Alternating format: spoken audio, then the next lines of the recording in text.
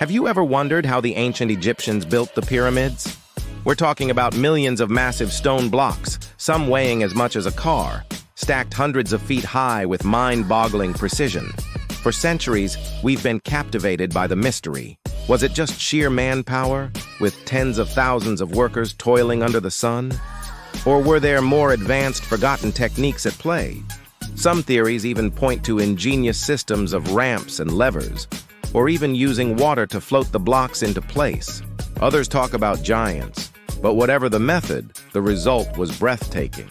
These weren't just tombs. They were monumental statements of power, belief, and engineering genius that have inspired awe for millennia. From the dollar bill to modern architecture, the pyramid's iconic shape echoes through our world, a timeless symbol of human ambition and mystery. What do you think is the secret behind their construction? Let me know in the comments below. Have a great day.